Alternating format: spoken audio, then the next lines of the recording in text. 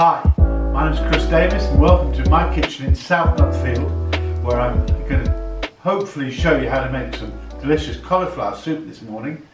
Um, my take on cauliflower soup because during these hard times we haven't got everything in the kitchen, we haven't got everything available. So we've got to use what we can to make this soup. And when I made the soup, I'm going to take it next door to give my neighbour a little uh, try. Right, let me just show you what we're going to, what the ingredients we've got today. I found some cauliflower um, in the fridge. It's about 600 grams. Uh, we're going to use it all parts of it, including the, the green bits. I also found some nice celeriac. Well, it's not so nice, it's quite old, but I'm using this instead of celery because celery is uh, what is required for this recipe. We have an onion, two cloves of garlic, two fresh bay leaves from the kitchen, from the garden rather, uh, a, a, little bit of nutmeg, some chicken stock, which I've, I've, um, I've not using, not making, I bought it, and then here we've got some cheese. Now, use whatever cheese you've got. It doesn't matter whether it's cheddar, it doesn't matter whether it's... Mine is a mixture of cheddar and Leerdam because that's all I've got in the fridge today. Salt and pepper, some mustard, and in a very nice NCL as mug, some milk and water mixed and some butter. So in a minute, uh, what equipment do I need? I need a nice blender, a grater, some sharp knives, my trusty pan, my copper pan, which I'm going to cook in today. And in a minute, we're going to go over there and do the preparation.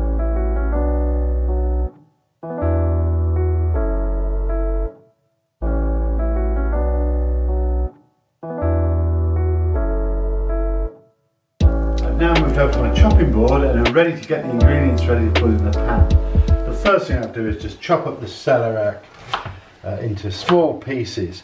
Really, it depends on what, it doesn't really matter what shape it is because you're going to puree the soup, but the smaller the better because it cooks a bit quicker. So that goes into the pan. Now I'll do my onions. Again with the onions, it doesn't matter about uh, doing any fancy footwork or any fancy Dan. Just slice your onions as fine as you like. And again, they go into the pan like so. Just finish the second one.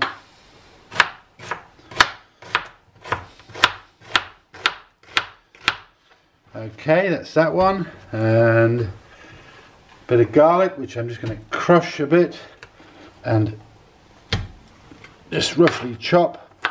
Again, that's going to be pureed up in there, back into the pan, and in we go.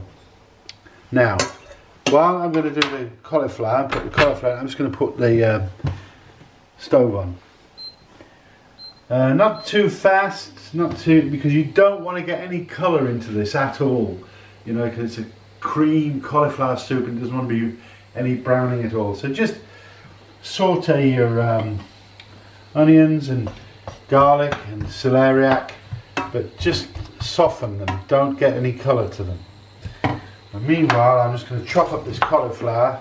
I'm going to use all of the cauliflower, you know, even the stalks as well, because why not use it all? We haven't got much time. We haven't got much time to go shopping these days and age, have we?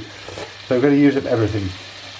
I'm just going to chop that roughly, but again, thin as possible so it cooks on time and just roughly chop your cauliflower. And you don't forget to use the green bits. Don't, why get rid of it? Just use it. You've got to use everything. And that's going to go in there in a minute. So it's going to go in the pan once I've got this going. Smells now coming out of, of the celeriac heavenly, as they say. Very nice indeed. Just softening the onions. And then we'll put the cauliflower in and then we're going to stop for a while because uh, it's going to cook a bit longer. But I'll put, I'll, I'll, put the cauliflower and the stock and milk in there. It's a mixture of um, milk and chicken stock. It's about 750 mils in total, but again, It's entirely up to you what you put in. If you want it too thick, too thin, whatever. I'm going to add the cheese later on. So give this a shake. Right, I'll put in the cauliflower. Every last bit we can get in, use it all up. Green bits, stalk, the lot. We're going to cook it now for about, I'm going to guess about 15 to 20 minutes. When it's ready, it'll be fantastic. Back again, I'm just adding the stock to the milk and then we're going to add the milk and water and stock into the um, pan along with the two bay leaves that I picked out of the garden this morning so they can go in. The bay leaf goes in and then comes the rest of the stock. All of it as much as you can get into it. There you go. Oh the chicken stock as well.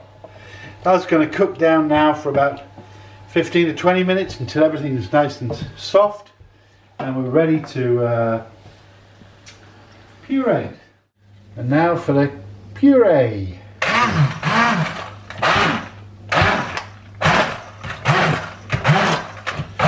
smells delicious now they always say isn't the proof of the pudding is in the eating. So here we have in our bowl uh, cauliflower soup or, or like to call it creme Du Barry.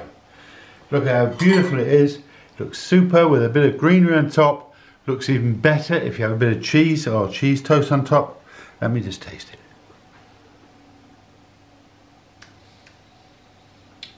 That is fantastic. Super. You're going to love it. My take, cauliflower soup, creme Du Barry. Have a nice day. Come back and see you soon. Bye.